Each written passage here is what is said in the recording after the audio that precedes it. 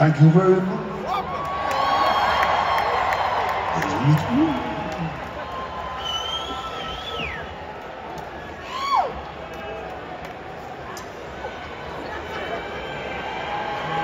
I got an idea. There's a young young fella right right, right here, looking about I don't know. Uh, how old are you?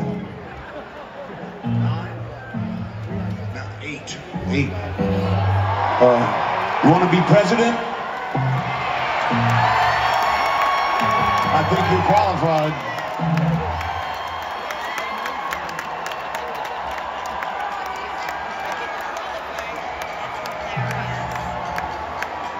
More so than anybody else right now. You got our vote.